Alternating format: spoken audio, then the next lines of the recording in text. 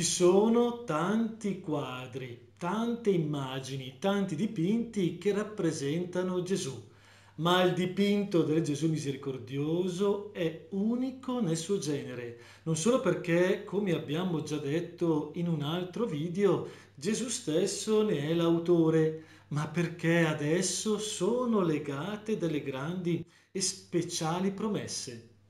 Vediamo.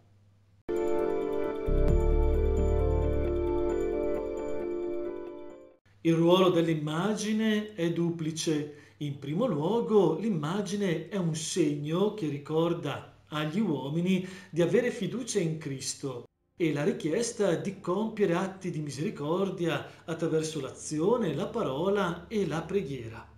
In secondo luogo, l'immagine serve sia a Gesù che agli uomini.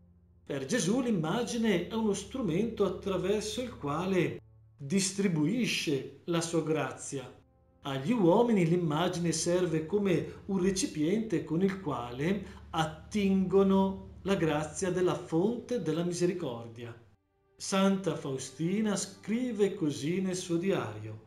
L'anima che venererà questo quadro non perirà.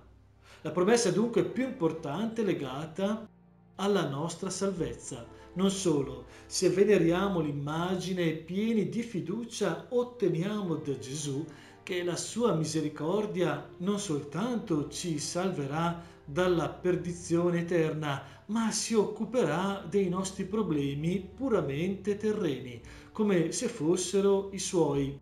La salute, la vita felice in famiglia, risolvere i problemi del lavoro, una vita dignitosa.